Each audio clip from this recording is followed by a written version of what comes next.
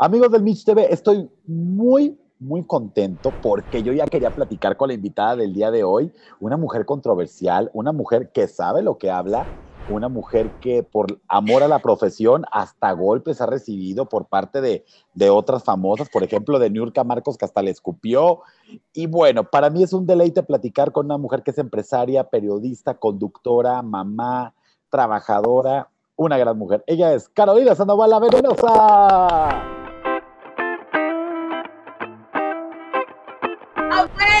Pero yo con esa presentación ya me voy a dormir tranquila, feliz. ¿Cómo estás, Miche? ¿Cómo te ha ido, mi amor? Yo feliz de estar aquí conversando contigo, con mi segundo bebé literario en la mano. Y hoy me puse rubia para ti porque ya tú sabes, yo no quiero que estés acostumbrado a lo mismo.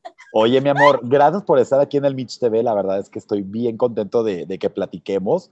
Eh, te había estado eh, quería, quería platicar contigo desde hace mucho tiempo, desde que pasó tu situación en Suelta la Sopa, pero entiendo que había una fila de periodistas que querían obtener la entrevista contigo. Para mí es una bendición estar hoy por hoy aquí contigo. Primero que nada, antes de entrar al chisme, oye, felicidades por ese nuevo bebé, ese librito que ya lo queremos este, leer todos. Platícanos, por favor, de este nuevo eh, proyecto que lanzas para tu público. Sabes que me, da mucha alegría porque yo soy de las que piensa que en medio de tanta tragedia uno tiene que levantarse uno mismo y si fuera por todos los planes que uno dejó enlatados, engavetados, pospuestos, yo digo que no hubiésemos salido de la cama arropados hasta la cabeza porque yo no sé si te pasó, pero en marzo del año pasado la gente decía, y a mí me lo dijeron cuando yo iba a lanzar el libro, mi equipo de trabajo viene y me dice el primero, ¿no? Me dice, no, no, no, pero vamos a lanzarlo luego como en junio, porque mi lanzamiento era en abril y yo tenía la pachanga, todo listo, el lanzamiento en Books and Books, y mi equipo me dice, no, no, vamos a lanzarlo en junio con la presentación que tú te mereces, con todo el... Y yo le digo, pero ¿y por qué si es un libro digital? Vamos a hacerlo de manera digital y vamos haciendo que esta cuarentena, fuera la época de la cuarentena, dime qué posteas y te diré quién eres, se hace como menos larga. Pues que me escucharon y que fue pasando mayo, junio y todos los meses que estuvimos encerrados, hasta que, bueno, todavía seguimos en esta nueva normalidad. Y eso me ha dado como más impulso de seguir haciendo todas y cada una de las cosas y una de las cuales yo creo que la digo con mucho orgullo es la de escritora. O sea, ser una autora nueva, una autora que tenía tanto rato con ganas de, seguir los pasos de tantas colegas que se habían atrevido, ¿sabes? A hacer televisión y hacer radio y también escribir. Y vino la pandemia, nos encerraron y pues a uno lo obligaron a tener más tiempo libre de hacer lo que uno tanto dijo, no, lo hago el año que viene, que lo hago más tarde. Y eso me encantó. Y como tú dices, mi nuevo proyecto de vida es hacer lo que yo quiera en mis tiempos, sin estarme posponiendo yo misma a una situación, porque ahora mismo tú podrías estar haciendo otra cosa y yo también. Pero esto es una, una disciplina, un compromiso que establecimos para encontrarnos. ¿Cuántas veces le has dicho a tu un amigo o le decía, pues ya uno los ve por FaceTime, no chicos, sí, nos vamos a tomar un café y el café nunca llegaba? Sí, cierto, cierto. Entonces mi proyecto es ser feliz y hacer todo lo que yo quiera mientras vida haya, ¿entiendes? Porque es que uno no sabe cuándo se va. Oye, pero para llegar a ese punto tuviste que pasar eh, pues un ligero via crucis, o sea, te vimos, eh, llamaste mucho la atención, desde que estabas en televisión llamaste mucho la atención por esa manera tan peculiar de dar los espectáculos, de esa manera de dirigirte, de dar tus opiniones en tu físico, tu vestimenta. Creo que representas a esa mujer latina que segura de sí misma, guapa, sensual, y eso gustó mucho al público. ¿Cómo llegas a la televisión, Carolina? ¿Cómo es que, que, brincas a suelta la sopa? ¿Qué hacías antes de esto? ¿Siempre te gustó la televisión? ¿Cómo fueron tus inicios?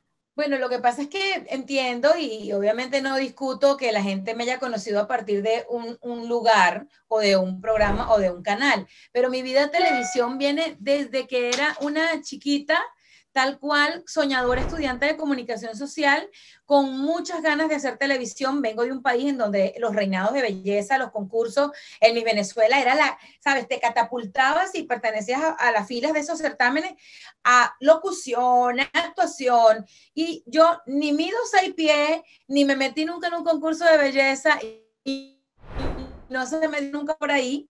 Y lo que hice fue estudiar teatro, estudiar actuación, agarré y me metí en la escuela como mi fin de estudiar periodismo en esos primeros años de estudiante era, yo quiero ser famosa, yo quiero escribir, yo quiero cantar, yo quiero actuar, yo quiero que la gente me pida autógrafo. O sea, esa mentalidad de niña que obviamente no está mal, pero que uno va transformando, porque para mí el hecho de dar un autógrafo hoy día no es lo principal ni que me reconozcan, sino que lo que yo diga, en donde lo diga, llámalo televisión, gracias a Dios, tenemos las redes sociales, que si cuando yo estudié comunicación social hubiesen existido las redes, bueno, mi amor, ¿qué te puedo yo decir? Me la hubiese comido igual. Entonces, eh, mi vida en televisión empieza en Venezuela, haciendo casting. Yo en algún punto pensé en hacer noticias, pero como que yo misma no me lo creía. Y entonces, buenas tardes, bienvenidos al noticiero. O sea, yo hacía los castings y yo misma no me lo creía yo quería hacer espectáculo y empecé a desarrollar mi carrera, a, estudiar, a formarme, no por el hecho de que tú hables de un famoso cantante, no te vas a aprender lo que implica conocer su vida. Entonces, yo me sentí un poco subestimada en esos primeros años de profesional del periodismo, porque fíjate algo, hacer periodismo de espectáculo era como menos y hacer periodismo de suceso o hacer política. Y resulta que la vida nos ha colocado en una posición a que la política parece más bien espectáculo. Ay, no, es que eso es un chisme. Ah, mira, resulta que los chismes de, de política se convirtieron en la noticia del, del mundo del gossip show, you know? Entonces, cuando esa niña descubre esto, estoy hablando de, Carolina Sandoval, empecé a hacer casting, empiezo a descubrir qué es lo que quería hacer, empecé a escribir en diferentes revistas de espectáculo. En Venezuela trabajé como colaboradora de, de, varios programas como De Boca en Boca, que es por decir como participar en Hoy, participar en diferentes shows en ese estilo, porque yo lo que quería era hacer tele, trabajé como actriz pero que la gente lo conozca o lo desconozca, entiendo, porque mi vida pública como más popular empezó en los Estados Unidos. Yo nací en Venezuela, emigré este, hace ya más de 20 años, este año se cumplen 21 años, a los Estados Unidos, exactamente a Miami, y aquí me dieron la oportunidad, fue en Univisión, en realidad luego de picar mucha piedra y de tocar muchas puertas, y le doy gracias a Dios a mucha gente importante que entró en mi vida, no importante por sus cargos, sino importante por el aprendizaje que, que me enseñaron, por todo lo que yo aprendí de ellos. ¿Cómo es que llegas a suelta la sopa? Mira, yo más allá de, de, decir cómo llego a los lugares, porque hay, por ejemplo, episodios de mi vida que, y eso te lo pongo como ejercicio, ¿tú te acuerdas de lo que hiciste en primer grado? No. Ok, entonces hay cosas que, primero, ya quedaron para mí en otra parte, son un ciclo cerrado, no pertenecen a lo que el 2021 implica para mí. Eh, todas las cosas que he hecho en mi vida las he hecho con la disciplina y con la mística que a mí me han formado en mi casa, en mi país. Vuelvo y te digo, al ser inmigrante, ya yo conozco lo que es el desapego, ya yo conozco lo que es el empezar de cero, ya yo conozco el hecho de que tú tengas que llegar, gracias a día, con el tema de las redes sociales y el mundo digital es distinto, pero tú sabes lo que es tener una carrera en otro país y tener que llegar aquí, tocar la puerta y decir, mira, yo soy periodista, estudié comunicación social y echarles el cuento de tu currículum vitae para como poner en contexto lo que tú sabes que te mereces, pero que todavía alguien no lo ha descubierto. Es normal. Entonces, que yo te, te diga, ay, que como entré a tal lugar, yo te respeto, te quiero, estoy aquí y no he dicho ni te mandé a decir, no me preguntes esto, no vamos a hablar de esto, vamos a hablar de todo lo que tú quieras, porque eso es Carolina Sandoval, cero, cero censura. Eh, pero sabes que sí creo que hay que dejar ir ciertos temas, hay que dejar pasar cosas en tu vida que no es lo que más debe brillar, porque si yo le pregunto a la gente, ¿qué es lo que más brilla de mí? Y me dicen solamente el nombre de un programa de televisión, entonces no he hecho nada. No he hecho nada porque, eh, imagínate, y eso yo se lo digo a todo el mundo.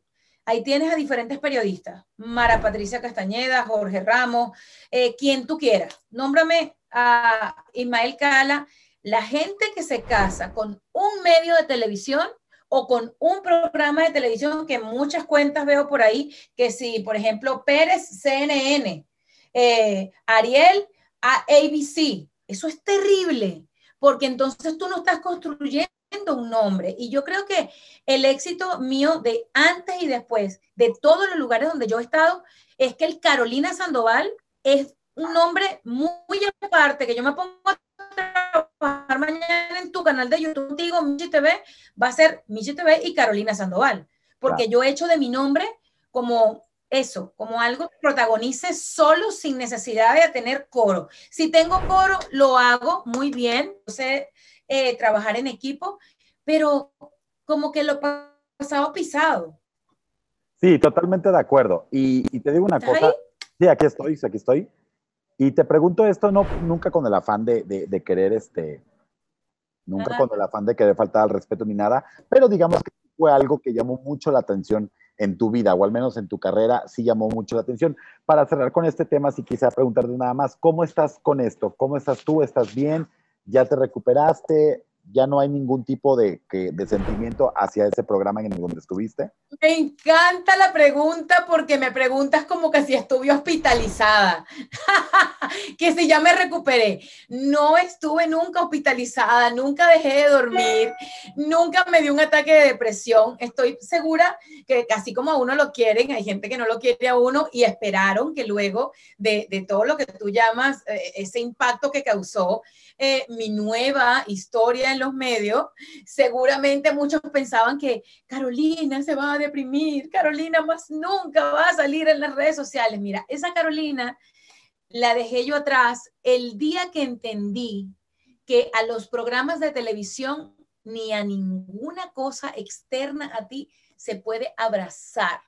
Porque yo te puedo abrazar a ti, yo puedo abrazar un libro, o sea, son mis memorias y, mi, alma aquí, pero no se puede eh, hacer de tu vida algo como que Ay, yo no puedo vivir sin este carro, yo no puedo vivir sin, o sea, pude vivir después de la muerte de mi padre, que es el duelo que llevo por dentro de toda la vida de hace cinco años y medio. No he tenido duelo, no me he tenido que recuperar de nada. Creo que ha sido todo como lo pensé cuando imaginaba que iba yo a salir de, muchos años de trabajar en un mismo lugar, fueron siete años, y entonces eso causa chisme, noticia, morbo. Y mi salida fue bastante escandalosa, tú lo has dicho, pero me encantó la forma en la cual la gente me tomó porque los que no me habían conocido en otra onda, dígame el día que entrevisté a Aida Cuevas. Aida Cuevas pensaba, la venenosa me va a entrevistar. Iba la gente así como con esas uñas. Y cuando esa mujer sale de la entrevista, que terminamos el almuerzo con Caro, mi publicista me pone su mensaje de voz y yo, ¡ay, qué bella! Pero ella pensaba que yo era un monstruo. Claro, porque uno viene de una marca, de un sello, de, de un contexto. Y eso me gusta, porque a lo largo de, de julio a diciembre, mira, obtuve cosas que nunca obtuve este año. Me dieron una portada digital en esta nueva ola de portadas digitales en la revista People en español. Yo lo dije hace poquito, salí en dos importantes canales porque son importantes, así uno no esté en alguno de ellos. He pasado por los dos, por Univisión y por la otra cadena, y salí en Despierta América celebrando mis 47 años con la portada digital de People. O sea, me pasaron cosas grandiosas. No nos hemos contagiado del COVID, que haber terminado el 2020 sano es el mejor premio que una persona pudiese tener, gracias a Dios, y, toquemos cabeza, madera, lo que sea, porque eso es un premio. Me pasaron cosas maravillosas. Saqué colecciones de faja, escribí estos libros, o sea, que salieron a la venta, terminé otra colección de mis pestañas, marca Carolina Sandoval, pelucas rubias. Miche, o sea, yo no te puedo decir que yo tuve un mal año, no tuve un mal año. Y la verdad es que eres una mujer que, que ha inspirado, porque el momento, tú lo acabas de decir, que dejas eh, la televisión para abrirte camino a estas nuevas formas de comunicar es aplaudible porque mucha gente, y tú lo acabas de decir, le da miedo, le da miedo de salirse de su zona de confort, le da miedo de salirse de, de, lo que estamos acostumbrados. Y yo también le estoy apostando muchísimo a esto de lo digital. La verdad, yo he visto eh, cómo, cómo, es, cómo te da proyección a nivel global, cómo te da este, ingresos, cómo realmente tú puedes manejar y producir tu propio espacio de una manera maravillosa. Entonces yo eso te lo aplaudo a ti porque creo que muchos de los que estamos en esta generación vamos para eso. Otra cosa a la que te quiero felicitar es que eres una mujer que has inspirado con tu historia de vida. Carolina, salir del cáncer eh, también fue una situación que, te aplaudimos, que gracias a Dios estás con vida, estás bien. Eh, fue un eh, cáncer, cáncer en la tiroides, tengo entendido, te tuvieron que retirar. ¿Cómo es para ti ahora que gracias a Dios estás muy bien? ¿Cómo es para ti ya hablarlo? Pero si, si recordamos ese momento, ¿cómo te sentías ahí? En el momento en que te dicen que padeces esto. Mira, fíjate algo, es, lo que te digo, son pruebas que te pone la vida. Yo celebré también el 11 de enero, algo privado para mí, o sea, 10 años, una década de haber recibido ese diagnóstico y estarlo contando es maravilloso. La palabra cáncer, todo el mundo la asocia con muerte y es otro de los estereotipos con los que hemos tenido que vivir durante años, porque mucha gente no lo ha logrado, porque hay gente que dice, bueno, es que el cáncer de tiroides no es tan malo como el cáncer de próstata o el cáncer de, del estómago. Nadie quiere tener en su haber, tuve cáncer, ¿ok? Yo tuve cáncer, gracias a Dios vivo sana, con la certeza de que todas esas células se fueron de mí. Eh, lo vives cuando te enteras de una manera muy abrupta porque tú te crees sana el día anterior y el día después de todos los análisis en manos de un especialista, es así como tú, tú, tú entiendes que algo no está bien, porque a mí me, todo esto no fue de la noche a la mañana, mucho tiempo registrando como ciertos cambios en mí, eh, me desvanecía al terminar de comer, por ejemplo, cosas como las lentejas que tienen mucho hierro, yo decía, ¿será que estoy anémica? Entonces me sentía como mal, yo desconocía desde la ignorancia que la tiroides es un órgano súper importante porque regula todas las hormonas. Y para mí eso, como yo después que me convertí en mamá, empecé a tener ataques de pánico y ansiedad, yo asumí que mi este, tembladera en las manos, mi sudoración, eh, mis, mis, nervios, este, e, eso que te sientes que te está dando un infarto, tenía que ver con el pánico o con la ansiedad. Yo, yo fui este, diagnosticada también por mi médico que me llevó el embarazo con depresión postparto para esos años. Y entonces tú asumes una cosa y la otra y resulta que no, uno no se puede quedar con un diagnóstico. Y visité varios médicos, para ese tiempo había ido a mi país, hacía mucho tiempo, una doctora me sugirió revisarme, y cuando te dan el diagnóstico, o sea que fíjate una cosa, hasta Jenny Rivera yo le tengo que agradecer donde Dios la tenga muchas cosas. Y tú dirás, está, está loca, me está mezclando chicha con manzana. Cuando Jenny y yo, después que tuvimos varios impases, que no nos conocíamos, que fueron muy públicos cuando yo trabajé en La Tijera, después de conocernos en el um, American Airlines Arena, en un premio lo nuestro, ella me concedió una entrevista, después me dice que se va a sentar conmigo para que yo la conozca en un concierto, a tomarnos un tequila, ella cumple su palabra, me invita a Monterrey. Después de esa entrevista en Monterrey, nos hicimos buenas conocidas, mensajito para acá en Twitter, mensajito en email, lo guardo con mucho cariño. Y ella se compromete con Esteban Loaiza, como bien lo vimos, se casó y ella me invitó a su boda. Mm. Para ese momento de, de la vida, yo no tenía una buena posición económica, entonces era pagar la renta o ir a la boda de Jenny. Y me la Jenny luego de que ella me invita y le digo, mira Jenny, no puedo ir a la boda. Le dije la verdad, yo nunca le metí. Más bien hasta me dijo, mujer, pero me hubieses dicho, no sé cuánto. Tú sabes que ella era una mujer muy espléndida y muy, con mucha prosperidad, y, mm. pero igual no, no fue de esa manera. Yo mi invitación la acepté con amor, no fui, pero no haber aceptado ir a la boda porque no tenía los recursos económicos. Imagínate que me dio la posibilidad de en esa fecha aceptar e ir a la doctora que descubriría que yo tenía cáncer de tiroides, porque la cita me la dieron para el día de la boda de Jenny. Y si yo hubiese estado en Los Ángeles, no hubiese ido a la, a la cita. O sea, todo está mezclado, porque si yo le dijera a la gente, no te quejes nunca por las cosas que no puedes hacer, porque tal vez al no hacerlas estás yendo para otro lado que tu vida necesita. Empecé mis citas con la doctora Ángela Gómez, una doctora americana dominicana. Eh, empezaron a hacerme pruebas, cuento largo corto, ya para eh, octubre de ese año, este 2010, yo tenía ya el diagnóstico, se planificó la operación para el 2011. terminé una relación amorosa que tenía para ese momento. Estaba todo como muy mal, porque el cáncer es cuando todo está mal, tóxico. Y y a mí cuando me extrajeron la tiroides, es como que si la vida me hubiese regresado, ¿sabes?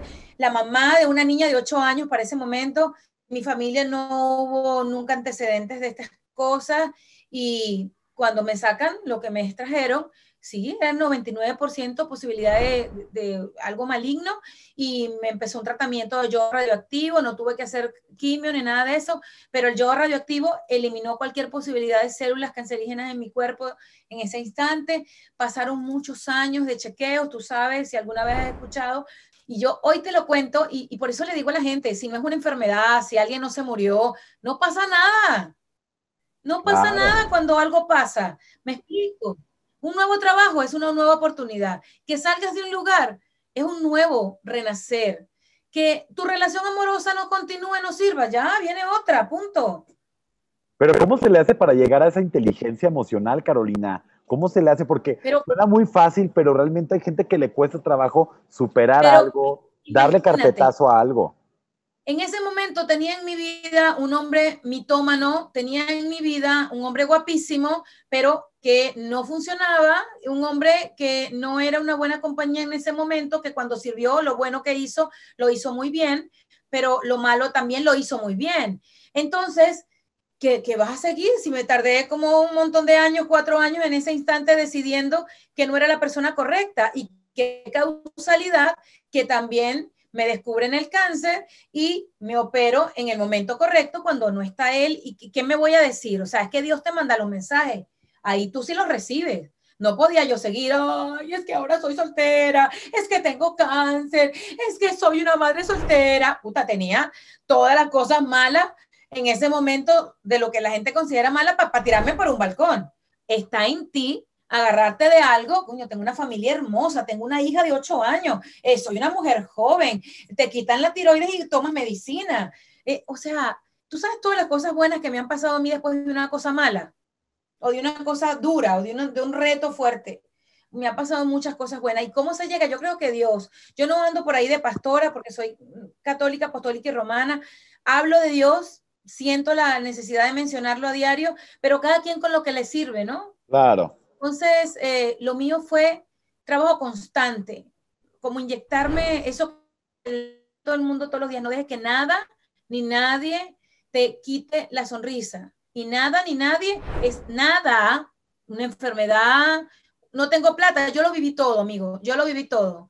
Yo no tenía plata para la renta, a mí me quitaron un carro, yo trabajé limpiando casa, o sea, también he vivido un par de cosas que es que, ¿cómo yo voy a llorar por algo que no sea del tamaño de la muerte de mi papá. Claro.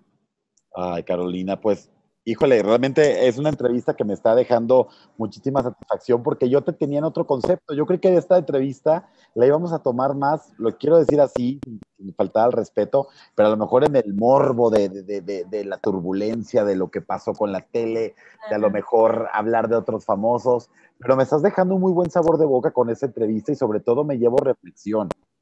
Y sabes qué, yo creo que uno de los papeles más importantes que tú haces hoy por hoy y que yo creo que el galardón de tu vida ha sido el de ser mamá, Carolina.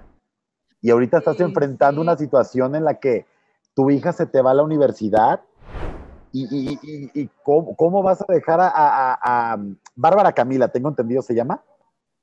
Sí, sí, sí. Bárbara Camila se te va a la universidad. ¿Cómo tienes, cómo estás ante esto? Porque tu pollito tiene que volar, hermana. Mira, sabes que sí, y me gusta que sea sincero y yo entiendo que cuando la gente me tiene en cámara, lo que está pendiente, esto va a ser un escándalo, se va a entrar, va a salir fácil. Bien, creo que sí, también es verídico, pero como bien lo dices, mi, mi como rol, mi, mi yo, lo que yo nací para ser mejor es ser mamá. Y mira que las dos son algo muy importante para mí, porque Bárbara Camila es la mujer de mi vida, la que me enseñó a ser mujer fuerte, agarrar y decir, no, yo tengo que ser para la niña. Y la se comió el hueso y hoy día se come la pechuga. La que cuando hoy se va a comprar una, cualquier cosa, siempre está analizando cuánto tiene que gastar y por qué, porque alguna vez fue, me llegó a preguntar, mami, yo no puedo trabajar para pagarte la renta. Que vea. y Amalia Victoria Sí, mi bebé de cuatro años es el resultado de la fe y un milagro, porque luego del yodo radioactivo y el tratamiento del cáncer, yo fíjate que antes de la operación, yo con mi papito que hoy vive en el cielo y él sabe que no miento, fui a un médico para congelar mis óvulos y poder ser madre, porque yo no tenía pareja, porque te conté que yo había terminado una relación y yo no estaba con el papá de Bárbara, y yo dije, pero yo quiero volver a ser mamá, yo no me quiero quedar nada más con una, yo quiero que Bárbara tenga una hermanita o un hermanito, lo que sea. Y pensé en congelar mis óvulos y el médico que me tocó, muy bueno, de la Universidad de Miami, me dijo, pero congelar los óvulos solo sin fecundarlos, era también hace un montón de años atrás, la ciencia todavía no estaba tan avanzada como hoy, no te garantiza eh, un embarazo exitoso, todas esas cosas que te dicen.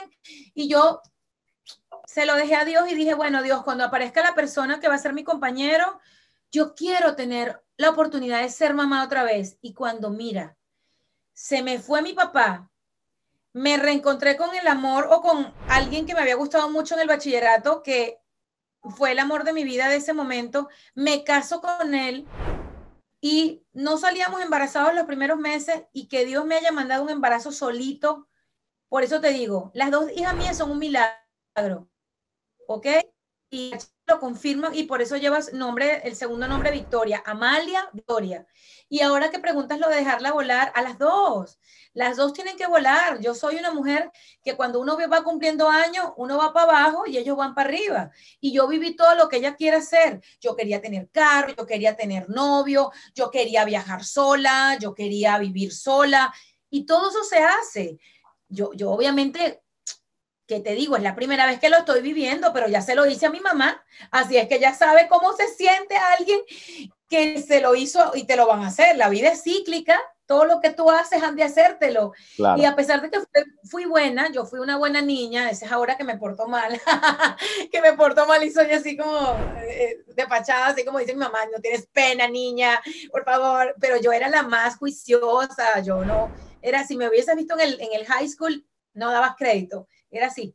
Entonces, yo sé que Bárbara le va a ir muy bien, que la universidad que le toque, que ella quiere que sea fuera de, la Florida, ya está loca por decidir y decirme, mami, me voy para Nueva York o me voy para Chicago y que yo me ponga a llorar y el drama, porque sabe que yo soy muy dramática y entonces después va a empezar la distancia con Bárbara, Bárbara Camila en Chicago, Bárbara Camila en Texas. O sea, seguro aparece otro programa a raíz de Bárbara en la universidad. Eh, y pues eso, ya veremos. No, pues mira, al final del día creo que tiene la suficiente inteligencia para saber que hay que apoyar a los hijos. Digo, yo he tenido la fortuna de que tengo unos papás que siempre me han apoyado. Imagínate, yo soy de una ciudad que se llama Tampico, Tamaulipas, aquí en México, y que cuando yo les dije que quería salirme de Tampico para irme a triunfar en la televisión, y hacer como carrera en los medios, pues imagínate, me salgo del molde y les da miedo, pero siempre me apoyaron los dos y siempre estuvieron ahí para echarme la mano. Oye, mi querida Carolina, y si pudieras, la, tuvieras la oportunidad de hablar con tu papi frente a frente, ¿qué le dirías? Y Dios. ¿Qué le dirías? Gracias. La primera palabra que le diría es gracias porque él me enseñó siempre a decir esa palabra, para él era muy importante ser una persona agradecido con lo mucho, con lo poco que se tuviera, y le diría mil veces te amo. Tú sabes que después que mi papi se me fue, lo que él soñaba de mí se realizó. Yo toda la vida fui muy desordenada financieramente. Yo era muy buena en la lectura, de hecho que yo me gradué en bachiller, bachiller de humanidades, no se me daba la ciencia, no me gustaba la estadística, la matemática, eh, química, física, nada de eso. yo, estudié literatura, filosofía, sociología, latín, y mi papá siempre soñaba con arreglarme la vida financiera porque decía, niña, tú, tú ganas tres y te gastas siete. Entonces, cuando él se fue, pasaron tantas cosas en mi vida, vengo y me caso con un hombre que también estudió finanzas como mi papá, contador, y todo empieza a encajar. Yo tenía ya una empresa, él llegó para arreglarla, me embarazo y me engordo, empiezan los de la faja, creo mi compañía de la faja, mis redes sociales se convierten en una gran unidad de negocio y por eso cuando tú decías que yo no empecé lo de las redes sociales full time en cuarentena ni después que pasó lo del programa ya mi vida estaba muy enfocada a los negocios y yo sé que mi papá se sentiría tan orgulloso de mí que yo me sentaría a conversar con él de todo esto y le diría, tú sabes que el día 23, que él se me fue un 23 de febrero, y le diría, óyeme, dime algo, tú fuiste el que hizo que cada 23 de cada mes con Dios siempre me pasara algo bueno. Cada 23 siempre me dan una buena noticia. Cada 23 cierro un negocio. Cada 23 a veces estoy en un avión volando cuando podíamos viajar internacional. Como que él ha querido que el 23 de febrero, que fue el día que él se fue, fuera un día para mí de gloria, aparte de recordar que ahí terminó su vida física. Porque aunque tú no lo creas, tú sabes que cuando mi papá se fue, yo revisando mi contrato del edificio donde yo vivía, él me llevó a acompañarme a firmar ese contrato un 23 de febrero. ¿Sabías que el 23 de febrero del año que él murió fue el día que cumplí cinco años libre de cáncer y que él se fue de este mundo sabiendo que su hija estaba libre de cáncer? O sea, lo que yo te diga es una cosa que con mi hermana y conmigo él está conectado, porque mi sobrino Jorge Osvaldo, papá se llamaba Osvaldo, nació un 18 de octubre y mi papá se operó a corazón abierto un 18 de octubre. Entonces él nos está mandando mensajes, él, era muy de números, porque vuelvo y te digo que lo suyo era las finanzas. Y es como que si me estuviera diciendo, no, mija, no me llore, el 23 es un buen día, no sufra por mí. Entonces esa conversación la tendría para decirle, oye, me ven acá, tú eres muy inteligente porque te manifestabas, Cuéntame qué pasó el día que te fuiste, con quién discutiste, te chocaron, porque qué pasó. Porque lo único que sabemos del día que le dio lo que le dio, que fue un paro respiratorio, él tenía cuatro mesecitos operado de corazón abierto y había bajado, ellos vivían en una montaña, a, comprarse un café en un McDonald's y su carro, él era muy impecable, quedó todo muy limpio, él llegó al edificio, se paró, yo vi por las cámaras de seguridad cómo le dio el, el infarto, pero entonces queremos saber si lo chocaron, si se molestó, porque una vecina de mi mami, que ayudó a mi mami a socorrerla, le preguntó nada más, ¿te portaste mal? ¿Hiciste algo para que te pasara esto? Y él solamente hizo así. Entonces me pregunta, serían muchísimas. ¿Qué pasó ese día? ¿Te tomaste dos cafés? ¿Le pusiste azúcar? Entonces ya te digo, él sabe que yo nunca lo dejo hablar. O sea, así sueño con él o hablo con él en mis monólogos. Ay, mi querida Carolina, pues yo te quiero agradecer que me hayas dado esta entrevista, que me hayas dado este tiempo para poder platicar con, con, con, mi público, con el público del Mitch TV y el público que va a ver esta entrevista, que es el que te sigue a ti también. Platícame, por favor, entonces del libro, ¿dónde lo podemos encontrar? Este, síguenos hablando de esto, por favor, y tus proyectos para este 2021. Y me gusta mucho porque todo lo que hemos hablado, señores, muy bien hablado, muy chévere. Parece que estamos sentados en un café tú y yo, Mitch. Eh, es lo que soy yo. O sea, este libro es exactamente esta conversación de diferentes formas, en, en, un ángulo distinto, porque nunca había vivido una pandemia. Y en Amazon lo pueden encontrar mi editorial Paquidermo, que me ha apoyado en las dos oportunidades que he publicado libros me ha encantado esto de escribir. Yo soy muy tecnológica, pero yo no cambio, mira, el olor de un libro y el agarrar las páginas por nada. Y te lo juro, puedo ir en un avión con todas mis redes aquí y con el iPad, pero amo tener libros, o sea, amo. Y lo pueden encontrar en Amazon, ponen arroba veneno sandoval, el título de alguno de los dos, dime qué posteas y te diré quién eres, o arroba veneno sandoval en tiempos de pandemia, y allí lo van a encontrar Ok, y rápidamente más proyectos. Eh, si regresas a la televisión, ¿qué te gustaría hacer? En redes sociales, ¿tienes algo planeado? ¿Cuáles son tus planes para este 2021? Mis planes es que no se despeguen de mis redes sociales. Voy a tener a la gente muy pegada, arroba Veneno Sandoval en todos lados, en Facebook, en TikTok, que soy, bueno, ser como ya como Erika Buenfil. Por ahí ya vamos allá a los dos millones de seguidores en TikTok. Y muy chévere, sí, sí, muy cool. Es una, una más nuevas y, ya tenemos casi dos millones allí y es increíble porque el contacto con público nuevo me fascina. Lo que sigue este año es, por supuesto, el almuerzo con Caro, que la gente lo tiene como para sentarse a comer, hablar, a, si tengo entrevistados o si tengo simplemente una receta. El trasnocho con Caro, que es el espacio donde le hacemos la explosión a esas noches de, donde la gente ya quiere llegar a su casa a descansar o si están en casa a divertirse. Y por supuesto, no se vayan a perder un segmento nuevo que este año en las montañas en Tennessee. Pastora, no me metí a pastora, pero mi, corazón tiene esa necesidad porque hay mucha gente con mucho odio allá afuera, utilizando las redes sociales en mal plan. Y yo los quiero poner a todos en oración y ahora estoy haciendo, no sé si mensualmente o semanalmente, Jesus is the reason, Jesús es la razón es algo que me pasó en la montaña, que la gente lo vio, fue muy público, se atascó nuestra camioneta, casi nos vamos hacia atrás, chocamos.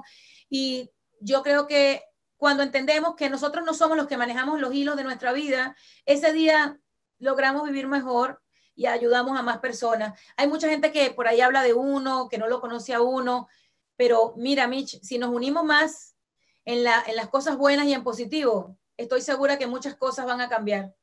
Híjole, me encantó que, pongas a Dios en el eje central de tus planes, porque yo soy, yo pienso igual, Él es el, el, creador, Él es el salvador, Él es el, el que hace que todo sea posible. Así que qué bonito estuvo, mi querida Carolina, te quiero agradecer nuevamente. Ahí estamos al pendiente de tus redes sociales. Te deseo todo el éxito del mundo, que Dios te bendiga, mucha salud, mucha prosperidad, trabajo bien pagado y sobre todo que tu hija le vaya, a tus hijas les vaya súper bien en cualquier cosa que emprendan.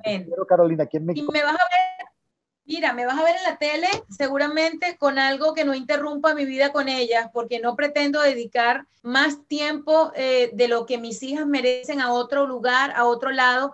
Acepto cualquier invitación cuando todo se normalice. Yo misma lo he dicho, yo misma me voy a autoinvitar. Yo voy a los productores que conozco y le voy a decir, quiero ir una semana. Chanik me ha invitado mil veces, una semana con Chanik, una semana en Puerto Rico, una semana en Honduras, una semana así, algo así que sea parecido a lo que me gusta, que me gusta mucho viajar, me gusta mucho mi manera de, ir a otros lugares, conocer otra gente.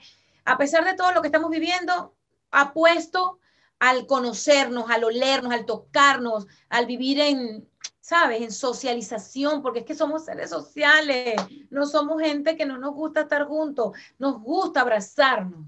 Así es, Carolina, te mando un besote. Que Dios te bendiga y estamos eh, hablando muy pronto y aquí en México tienes un amigo. Que estés muy bien. Gracias, amor. Cuídate mucho y qué lindo. Gracias. Si te gustó este video, suscríbete a mi canal, comparte, dale like y también comenta, ¿eh? porque yo estoy al pendiente de todo lo que tú me dices. Además, si quieres más videos, aquí te los dejo.